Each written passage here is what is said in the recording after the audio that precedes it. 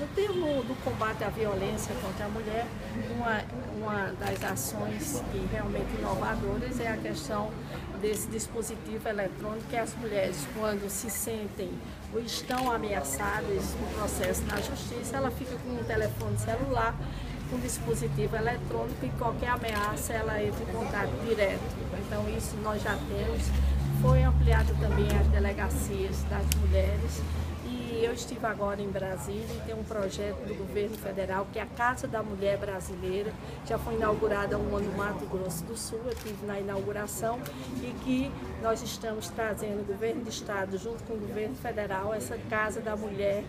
brasileira para Paraíba, que vai ser um espaço grande, de 2 mil metros quadrados, onde vão haver várias delegacias, Ministério Público,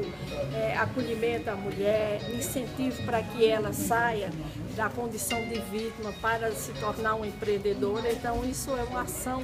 do governo do estado. Nós vemos também o empreender mulher, né, que incentiva as mulheres a ter autonomia econômica e que desenvolva seus próprios negócios. Tem o Cooperar também destinado à mulher, para que a mulher desenvolva em vários setores, né, onde ela tem maior aptidão. Então existe uma preocupação